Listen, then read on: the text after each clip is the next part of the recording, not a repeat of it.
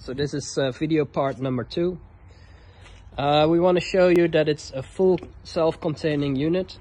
So over here we have two 12 volt sockets that can be used to uh, power the laptop as well as the CPT system itself.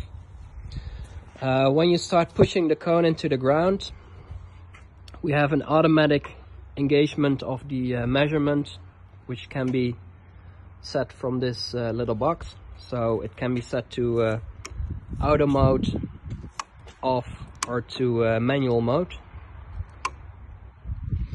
Um, on the unit there's a tray where you can put in loose items so they're not laying around on the uh, on the job site but it's all nice and tidy uh, the way this rig is as well.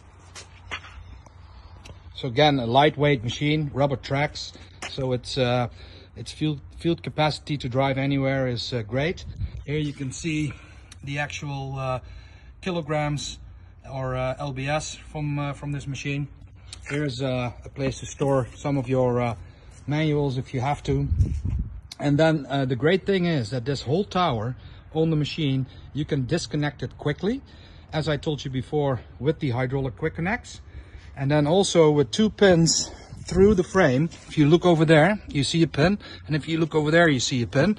We're going to show you how this works and what you can do in uh, movie number three. So uh, we'll be back. Thank you.